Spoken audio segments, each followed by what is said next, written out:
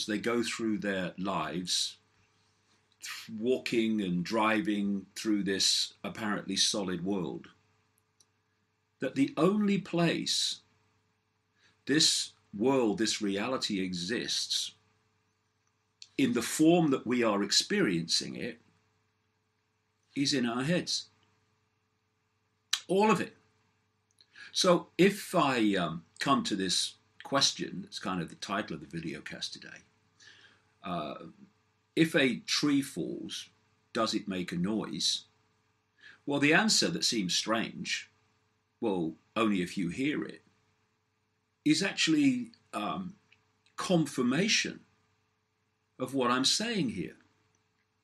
Because when the tree falls, it doesn't make any noise. What happens is it creates, if you like, vibrational disturbances in the energetic field, in the air. And these disturbances are picked up by our ear, hearing senses and turned into electrical signals, electrical information, which is then uh, communicated to the brain. And only in that part of the brain that specializes in decoding sound does that tree falling make a noise. And even then, only within a certain frequency band. And all the senses are doing this. The five senses. They're taking um, electromagnetic waveform information. Uh, they're turning it into electrical signals, communicating that to the brain, and that's where the decoding goes on. That turns that information into sight, hearing, touch, smell, and so on. So we're living in a world which we think is solid, that we think is outside of us, and it's not, it's only in here. Another example. Here we have, uh, don't go out on me. Uh, here we have a candle, candlelight. Okay, yeah, he's holding a candle.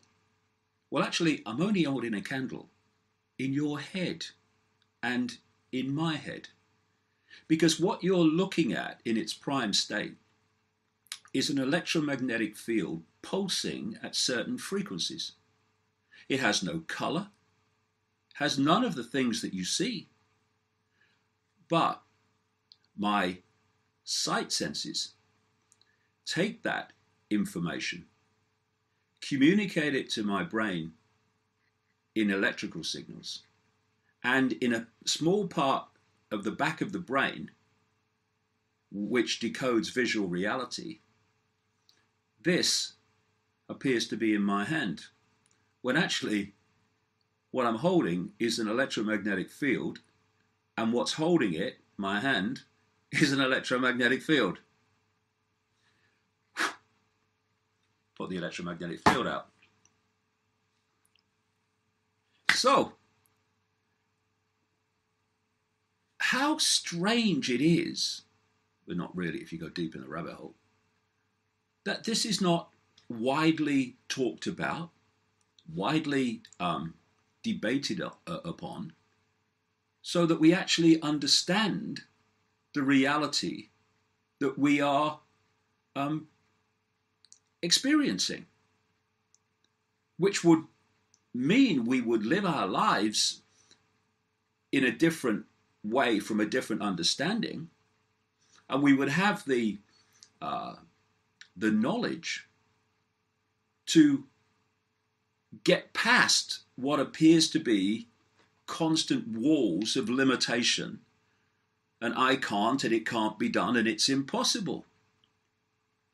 You look at those various things that we think are impossible, can't be done. And invariably, the, the reason we perceive that is because the world is solid. The world is not solid. What the universe is, and this is all provable fact, by the way, is um, information. Think of, of Wi Fi.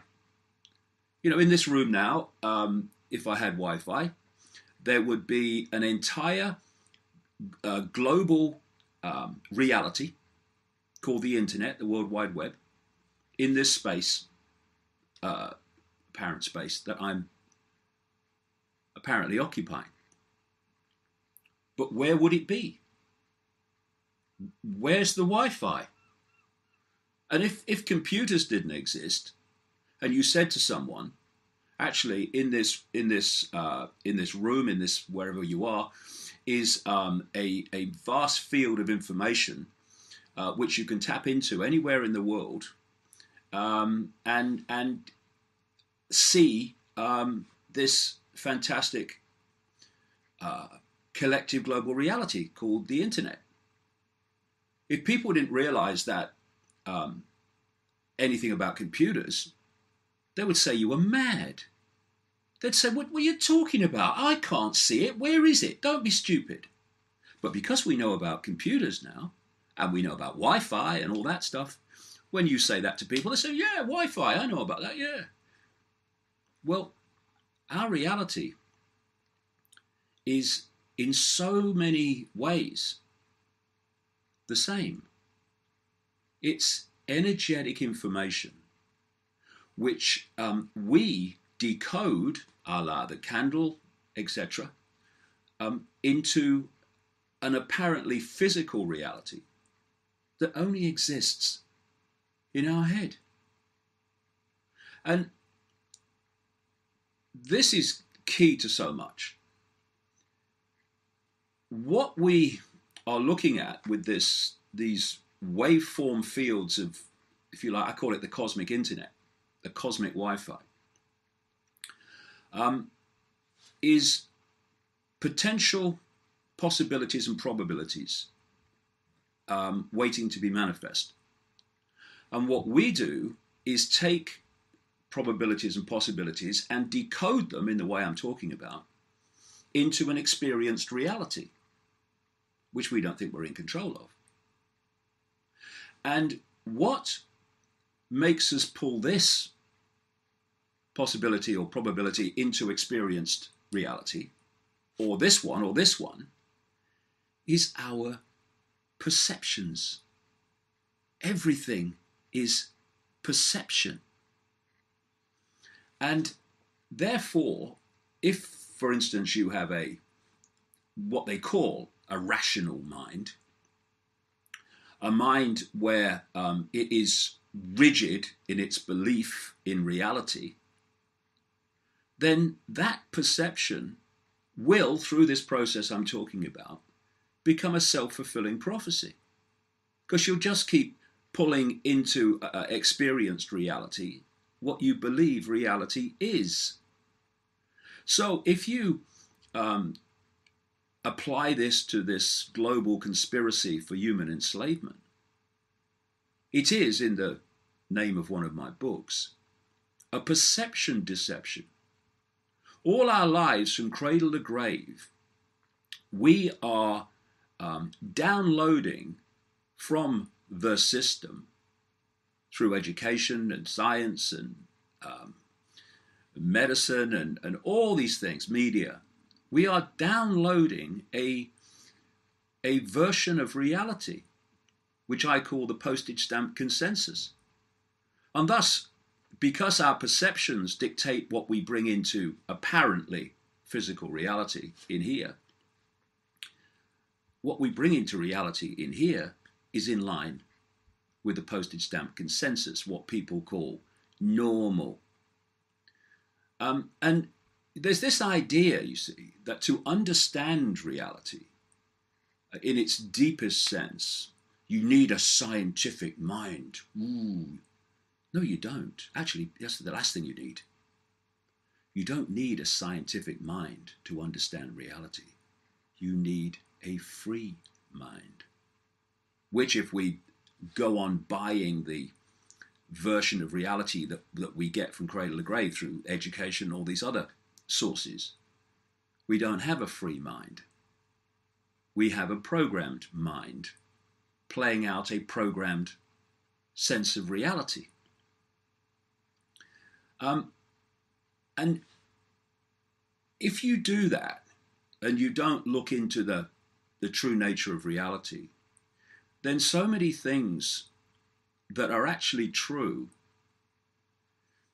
you dismiss as crazy.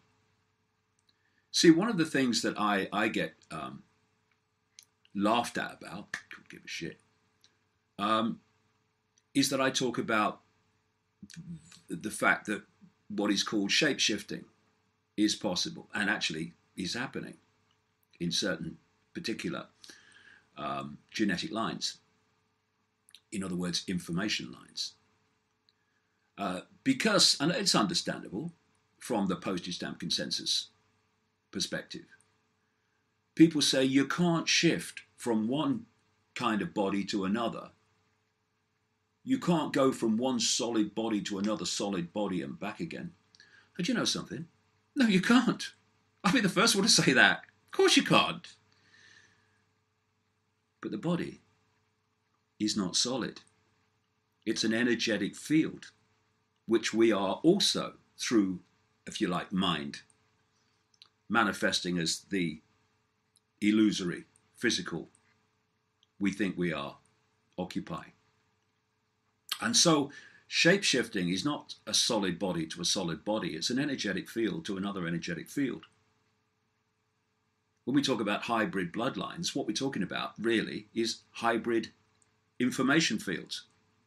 And when you switch from one to the other, the observer, creating the physical experience in their head, apparently sees a solid body shift to another solid body.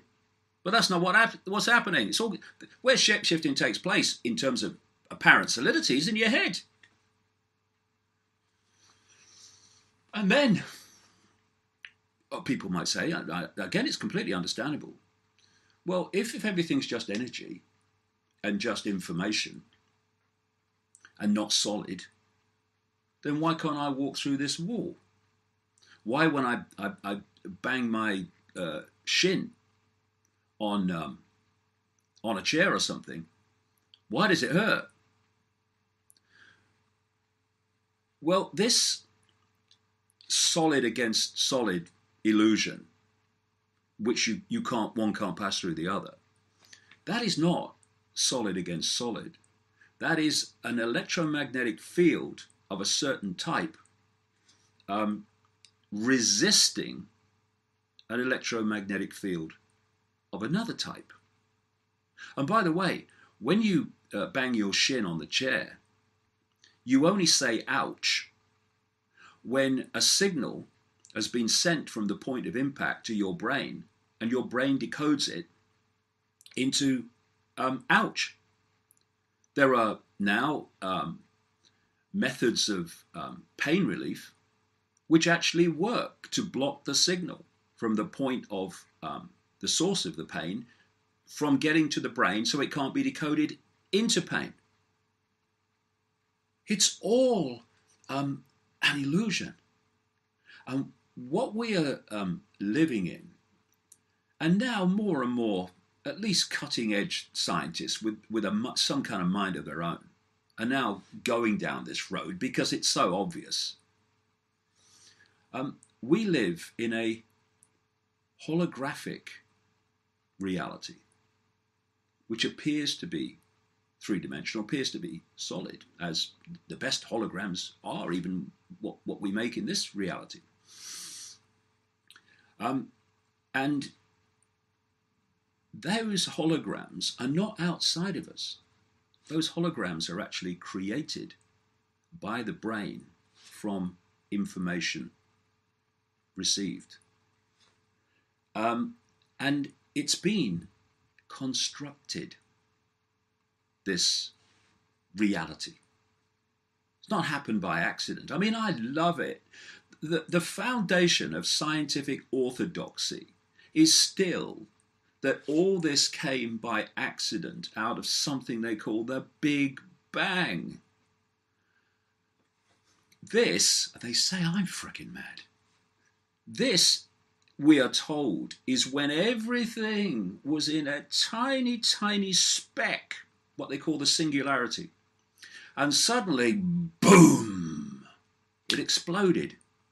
And from this massive explosion came time, space, both illusions, by the way, time, space, planets, all of it, stars.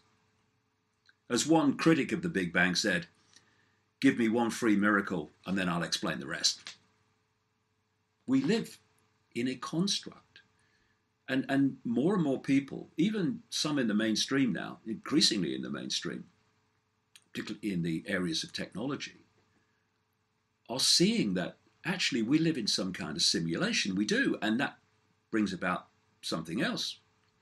A simulation must have been created by some intelligence. And um, there was a NASA scientist recently uh, who came out and um, said that, in his opinion, now after looking at this years after year after year, um, we live in a digital hologram.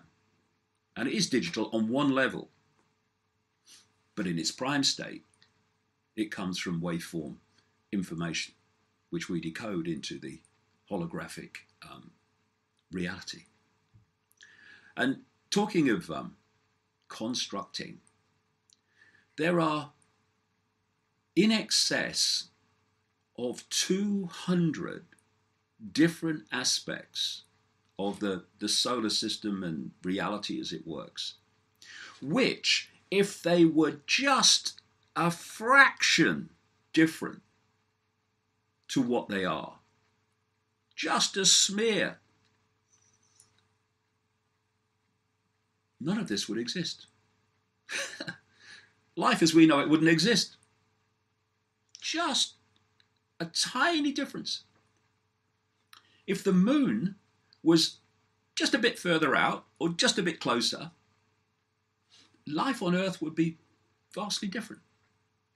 And all this is an accident. As someone said, for all this to be an accident is to believe that a hurricane could blow through a scrapyard and assemble a jumbo jet. It's ridiculous. And then you come to these two, well, beliefs that appear to define our reality. You know, the reality in our head. And that's time and space. Neither of them are real, they're just part of the construct.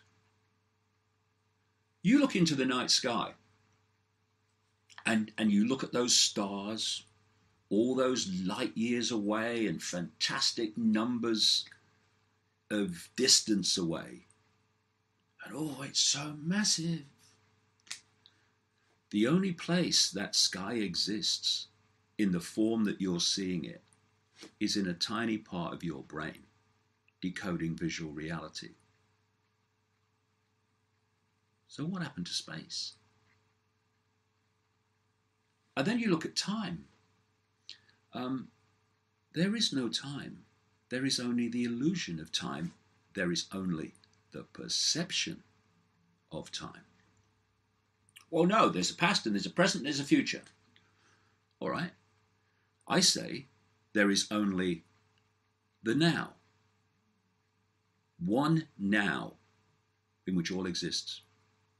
But the way we decode information in that now, where we assemble it in here, makes us think that we're going through a process, a sequence of passing from past through present to future. So let's look at it. When you're thinking of the past, where are you? You're in the now. When you're thinking of the future, where are you? You're in the now. There is only the now. Everything else is illusion. Then, another question Who's controlling this deal? It's a construct. It's been created by some form of intelligence. And who's, who's controlling it? Who, who, who is controlling that chatter in people's heads that, that never shuts up? I go into all this in great detail in the books and in the, the world tour. But scientific experiment has thrown up big questions about this thing we call free will and where are our thoughts coming from? For instance, um, they did an experiment whereby they were observing activity in the, the brains of the subject subjects, and they asked them to randomly, when they chose, to move their hand. The activity in the brain to start the hand movement came a full half a second before the conscious decision to move the hand. Some later experiments were able to predict a action by someone 10 seconds before they decided to do it. As one scientist said, 10 seconds in terms of brain activity is a lifetime. So, what's going on? These are the questions you, you, you never see um, or very rarely see um, addressed in the mainstream media in education. Why?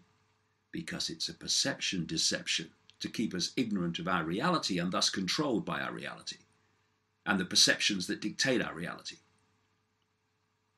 And all that I'm talking about, this entire reality, all the things, the way we decode it,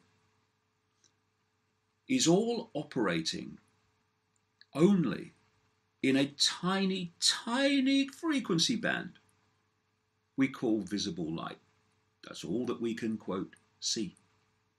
And according to mainstream science, and I think they're underestimating it, um, in terms of um, the numbers, I think we can see actually less than they say. According to uh, mainstream science, the electromagnetic spectrum is 0.005%. 0.005% of what exists in the universe, in energy and all the other forms.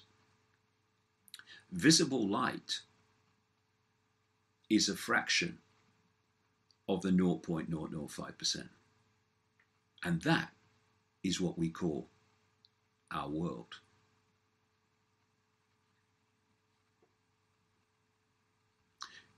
Here's a sobering thought. Political decisions the world over, scientific orthodoxy, medicine, education, media, all make their decisions, make their judgments, communicate their opinions on the basis that this world is literally solid, is outside of us, and would still be here if we weren't. No, it wouldn't, because it only exists in the form we experience it in here. So when you think that decisions and opinions and certainties that dictate the reality of this world and the reality perceived by the vast overwhelming majority of the people is actually based on a complete fricking illusion of what we're actually experiencing. No wonder the world's a bloody madhouse. How could it not be? And the point is, there is a force, that which created this reality, which doesn't want us to know the nature of the reality we're experiencing, so we continue generation after generation to be imprisoned by it. That's why you so rarely see any of this stuff discussed or highlighted in the mainstream. And I do hope that in 2017, more and more people start to look at this start to question, start to address these things about the nature of reality. Because this is the knowledge that will set us free of the program. Because it's knowledge beyond the program that unveils how the program works. And the world that we see is like a movie screen. When a movie's on the screen, it's a done deal. You ain't going to change the movie on the screen. It's already there, playing out. What you have to do is go and find the source from which the movie is coming, and then you will uh, be able to uh, change the movie. And where this reality is coming from is not in the seen, it's in the unseen. You know, that people dismiss, can't see it, can't exist. And therefore, the true source of human control is coming from the unseen. And the way that we remove that control and set us free by setting our perceptions free is by understanding